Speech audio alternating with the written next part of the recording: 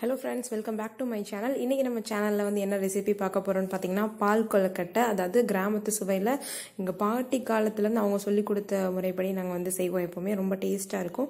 இன்றைக்கி நான் அதை தான் உங்களுக்கு வந்து சொல்லித்தர போகிறேன் நான் இதை செஞ்சதுக்கு வந்து சொதப்பியிருக்கா இல்லை நல்லாயிருக்கா அப்படிங்கிறத வீடியோக்குள்ளே போய் வந்து பார்க்கலாம். இந்த வீடியோக்குள்ளே நம்ம போகிறதுக்கு முன்னாடி நம்ம சேனலை சப்ஸ்கிரைப் பண்ணாதவங்க சப்ஸ்கிரைப் பண்ணிக்கோங்க. நம்ம சேனலுக்கு யாராவது புதுசாக வந்து பார்க்குறீங்க அப்படின்னா நம்ம சேனலில் இப்போ கிவ்அவே வந்து போயிட்டு இருக்கு. நவம்பர் நைன்லேருந்து நவம்பர் டுவெண்ட்டி செவன்த் வரைக்கும் கிவ்அவே ஓப்பனில் தான் இருக்குது அதுக்கான ரூல்ஸ் என்ன அப்படிங்கிறத வந்து நான் வந்து தெளிவாக ஒரு வீடியோ வந்து நான் போட்டிருக்கேன். அதோட லிங்க் டிஸ்கிரிப்ஷனில் இருக்கும். ப்ளஸ் நான் வந்து நிறைய டிஷ் வீடியோ அதுக்கப்புறம் உங்களுக்கு அந்த recipes video beauty tips video அதெல்லாம் நிறைய நம்ம சேனலில் இருக்குது அது எல்லாருமே எல்லாத்தையுமே பார்த்து நம்ம சேனலில் எல்லாத்துக்குமே லைக் பண்ணுங்கள் கமெண்ட் பண்ணுங்கள் நம்ம சேனலை சப்ஸ்கிரைப் பண்ணிட்டு பக்கத்தில் இருக்க பெல் ஐக்கானை கண்டிப்பாக நோட்டிஃபிகேஷன் சிம்பிளை ஆன் பண்ணி வச்சுக்கோங்க. அப்போ தான் நான் எந்த வீடியோ போட்டாலும் உங்களுக்கு ஃபஸ்ட்டாக வந்து முன்னாடி நிற்கும் ஓகே வாங்க. இப்போ நம்ம வந்து பால் கொழுக்கட்டை வந்து எப்படி செய்யலாம் அப்படிங்கிறத பார்க்கலாம். இப்போ வந்து பால் கொழுக்கட்டை செய்யறதுக்கு ஃபர்ஸ்ட் நம்ம வந்து என்னென்னா அரிசி மாவு. நாங்கள் வந்து வீட்டிலேயே அரைச்ச அரிசி மாவு தான் நான் வந்து எடுத்திருக்கேன். அரிசி மாவு வந்துட்டு இப்போ நான் வந்து கால் கிலோ அளவு எடுத்திருக்கேன். நான் வந்து உலக்கில் எடுத்திருக்கேன். அது வந்து ஒரு கால் கிலோ இருக்கும். இப்போ கால் கிலோ அரிசி மாவு வந்து எடுத்துக்கிட்டீங்க அப்படின்னா அது வந்து ஒரு ரெ- ஒரு மூணு பேர் வந்து தாராளமாகவே நல்லா சாப்பிட்லாம். கால் கிலோ அரிசி மாவு வந்து எடுத்துக்கோங்க. அதில் வந்து உங்களுக்கு தேவையான அளவுக்கு தூள் உப்பு சால்ட் வந்து ஆட் பண்ணிக்கோங்க. அதுக்கப்புறம் தண்ணி வந்து சுட வச்சு எடுத்துக்கோங்க. ரொம்ப சூடாக இருக்கணுன்றது கிடையாது. வெது வெதுப்பான தண்ணியாக இருந்தாவே இது வந்து ஓகே தான். ஸோ வெது வெதுப்பான தண்ணி இது எல்லாத்தையுமே வந்துட்டு எடுத்துக்கோங்க. எடுத்துகிட்டு இப்போ மாவு வந்து எந்த மாதிரி கன்சிஸ்டன்சியில் நம்ம வந்து பிசையணும்னு பார்த்தீங்கன்னா இப்போ சப்பாத்தி மாவு பிசைவோம் ரொம்ப ஹார்டாகவும் இருக்கக்கூடாது. ரொம்ப வந்து ஒரு மாதிரி தண்ணியாகவும் வந்து இருக்கக்கூடாது. ஓரளவுக்கு தொட்டால் நம்ம அந்த கையில் உருட்டி பார்த்தா அந்த கொழுக்கட்டை ஷேப்பில் வந்து வரணும். அந்த மாதிரி கன்சிஸ்டன்சியில் வந்துட்டு நம்ம இப்போ வந்து மாவை பிசைஞ்சு வந்து எடுத்துக்கலாம்.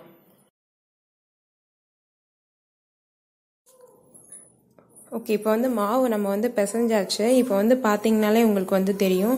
நல்லா வந்து அந்த சப்பாத்தி மாவு கன்சிஸ்டன்சி மாதிரி வந்து இருக்குது இதை வந்து நம்ம லைட்டாக வந்து கொழுக்கட்டை வந்து உருட்டி பார்த்தோம் அப்படின்னா நல்லாவே உங்களுக்கு வந்து கொழுக்கட்டை வந்து உருட்ட வரணும்.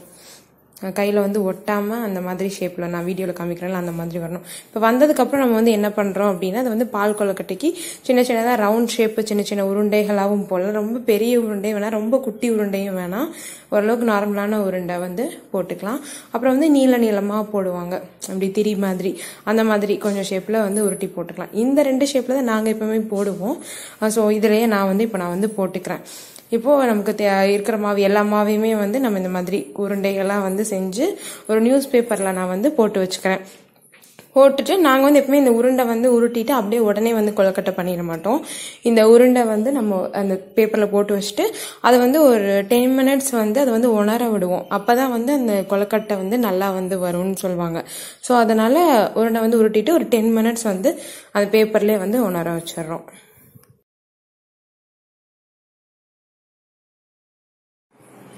இப்போ நெக்ஸ்ட் என்ன பண்ண போறோம்னா இந்த சைடு ஒரு பேன்ல வந்துட்டு நான் அதே வடச்சட்டியிலே நான் வந்து செஞ்சுக்கிறேன். அது வந்து ஈய பாத்திரத்துல செஞ்சீங்கன்னா அது வந்து நல்லா வரும்னு சொல்லுவாங்க பாட்டி காலத்துலலாம். ஸோ நாங்கள் அதே மெத்தடில் தான் எப்பவுமே ஃபாலோ பண்ணுவோம். இட்லி கொப்பரை சட்டியிலே நாங்கள் பண்ணுவோம். நான் இந்த டைம் வந்து வடை சட்டியில் வந்து பண்ணிக்கிறேன். இப்போ நம்ம வந்து கால் கிலோ மாவு நான் அந்த ஒரு உலக்கு எடுத்தேன்ல அதில் வந்துட்டு இப்போ நாலு உலக்கு தண்ணி நீங்கள் வந்து ஆட் பண்ணிக்கோங்க. நான் வந்து கொஞ்சம் தம்மி தண்ணி வந்து கம்மியாக ஆட் பண்ணிட்டேன். ஸோ அதனால என்னென்னா கொஞ்சம் லைட்டாக கெட்டியான மாதிரி எனக்கு ஒரு ஃபீல் இருந்தது. ஸோ அதனால் நீங்கள் வந்து என்ன பண்ணிக்கிறீங்கன்னா நாலுலேருந்து நாலரை டம்ளர் தண்ணி வந்து நீங்கள் ஆட் பண்ணிக்கோங்க. இந்த தண்ணி இப்போ ஆட் பண்ணதுக்கப்புறம் இதுதான் வந்து முக்கியமான ப்ராசஸ் இந்த தண்ணி வந்து லைட்டாக சூடானவுடனே நம்ம உருண்டைகளை வந்து போடக்கூடாது. இந்த தண்ணி வந்து நல்லாவே வந்துட்டு கொதிக்கிற ஸ்டேஜ் வந்து வரணும். நல்லாவே வந்து கொதிக்கிறப்போ வந்து தொட்டு பார்த்தீங்கன்னா உங்களுக்கு தெரியும் சைடில் சுற்றி தண்ணி பார்த்தீங்கன்னா தெரியும் அந்த கொதிக்கிறது. ஸோ அந்த கொதிக்கிறப்ப வந்து நீங்கள் அந்த உருண்டைகள் எல்லாத்தையும் வந்து ஒன்று ஒன்று எடுத்து போடணும். கொஞ்சம் கொஞ்சமாக தள்ளி தள்ளி அந்த மாதிரி நீங்கள் வந்து இப்போ போட ஆரம்பிச்சிடணும். இப்போ வந்து எல்லா உருண்டைகளையுமே நம்ம அந்த மாதிரி வந்து போட்டுக்கணும். இப்போ எல்லா உருண்டையுமே நம்ம வந்து போட்டாச்சு. போட்டுட்டு மூடி வந்து வச்சிடணும். நம்ம வந்து ஆவியில தான் வந்து வேக போகுது. ஸோ அதை வந்து மூடி வச்சிடணும் நம்ம. இது வந்து ஒரு ஃபைவ் டு டென் மினிட்ஸ் வந்து நல்லா வந்து வேகணும். ஸோ நல்லா மூடி போட்டு நான் வந்து மூடி வச்சிட்டேன். இந்த டென் மினிட்ஸ் இந்த உருண்டைகள் எல்லாம் வெந்துட்டு இருக்க டைம்ல நம்ம என்ன பண்ணிக்கணும்னா வெல்லம் இருக்குல்ல வெல்லம் நான் வந்து இடிச்சு வச்சதை உங்களுக்கு காமிக்க மறந்துட்டேன். ஆட் பண்ணது வந்து இது வீடியோவில் இல்லாமல் போயிடுச்சு. ஸோ இதை வந்து என்ன பண்ணணும்னா நம்ம வெள்ளம் இருக்குல்ல நான் வந்து இந்த கலரில் இருக்கும்ல வெள்ளம் இந்த கலர் வெள்ளம் தான் எங்கள் வீட்டில் இருந்தது. இது போட்டிங்கன்னா உங்களுக்கு வந்து நல்லா கலராக வந்து கிடைக்கும். பார்க்கவே கலர்ஃபுல்லாக இருக்கும். அந்த வெள்ளத்தை வந்து நல்லா தட்டிட்டு நல்லா கட்டி முட்டியுமா இல்லாமல் நல்லா தூள் பண்ணிட்டு அதை நான் வந்து அப்படியே அந்த டென் மினிட்ஸ்க்கு அப்புறம் அது வெந்திருக்குள்ள அதில் வந்து நான் அந்த பவுடர் அப்படியே ஆட் பண்ணிடுவேன். சிலர் இதில் வந்து என்ன பண்ணுவாங்கன்னா அந்த வெள்ளத்தை வந்துட்டு லைட்டாக தண்ணி ஊற்றி அடுப்பில் வச்சு காய்ச்சி பாகு மாதிரி ரெடி பண்ணி அதில் வந்து ஆட் பண்ணுவாங்க. பட் நாங்கள் வந்து இது எப்பவுமே இப்படி தான் செய்வோம். அப்படி செஞ்சிங்கனாலும் உங்களுக்கு எல்லா வெள்ளமும் வந்து நல்லா கரைஞ்சிரும். ஏன்னா நம்ம கெட்டி இல்லாமல் தட்டி வச்சிருக்கனால. அதை அப்படியே போட்டு நம்ம வந்து இதில் போட்டு அப்படியே நல்லா வந்து கரண்டியை வச்சு நல்லா மிக்ஸ் பண்ணி விட்டுக்கிட்டே இருக்கணும். ஒரு டூ டு த்ரீ மினிட்ஸ் வந்து இதை நல்லா மிக்ஸ் பண்ணுங்க. மிக்ஸ் பண்ணதுக்கப்புறம் உங்களுக்கு பார்த்தீங்கன்னா தெரியும். கொஞ்சம் நல்லாவே வந்து பார்க்கவே ரொம்ப வாசமாக எம்மியாக இருக்கும். அந்த ஃப்ளேவர் வந்து சொல்லவே முடியாது. அந்தளவுக்கு சூப்பராக வந்து இருக்கும் அந்த வெள்ளத்தோட ஸ்மெல்லு எல்லாமே.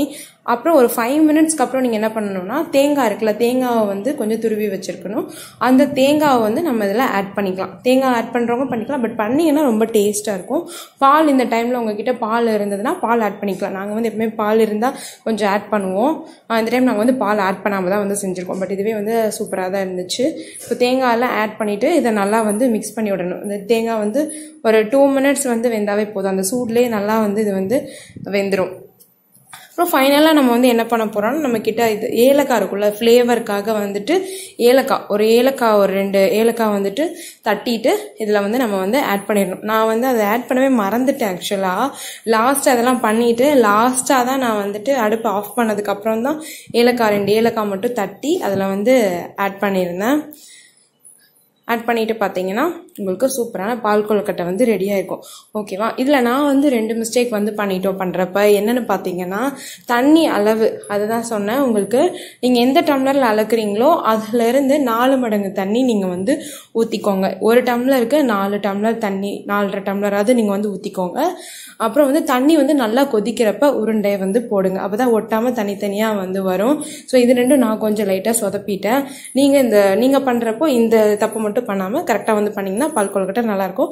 பட் நான் பண்ணியிருந்ததும் டேஸ்ட் வைஸ் வந்து பார்த்தீங்கன்னா ரொம்பவே சூப்பராக வந்து இருந்தது. எல்லோரும் நல்லா என்ஜாய் பண்ணி வந்து சாப்பிட்டோம். ஓகே நீங்களும் இதை வந்து உங்கள் வீட்டில் வந்து ட்ரை பண்ணிவிட்டு எப்படி இருந்ததுன்னு நமக்கு கமெண்ட் பண்ணுங்கள் கிவ்அவேல எல்லாருமே வந்து பார்ட்டிசிபேட் பண்ணி வின் பண்ணுவீங்கன்னு நினைக்கிறேன். எல்லாருக்குமே வந்து ஆல் தி பெஸ்ட் அதோட ரூல்ஸ் வீடியோ வந்து கீழே இருக்குது புதுசாக பார்க்குறவங்க அதையும் பார்த்து கிவ்அவேலையும் பார்ட்டிசிபேட் பண்ணுங்கள் தேங்க்யூ